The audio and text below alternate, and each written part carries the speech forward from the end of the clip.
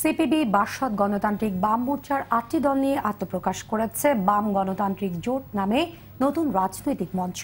মুক্তিযুদ্ধের প্রকৃত চেতনা সমাজতন্ত্র বাস্তবায়নের লক্ষ্যে রাষ্ট্র ও সরকার প্রতিষ্ঠার আন্দোলন জোরদার করাই এই জোটের উদ্দেশ্য।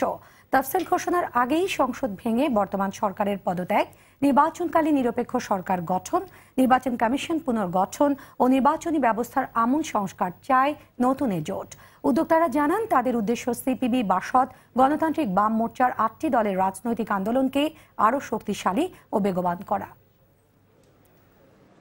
এই মুহূর্তে সবচেয়ে বড় কাজ হলো নির্বাচনকে যে প্রহসনে পরিণত করা হয়েছে, তার বিরুদ্ধে আমরা একটা শক্তিশালী আন্দোলন গড়ে তুলব।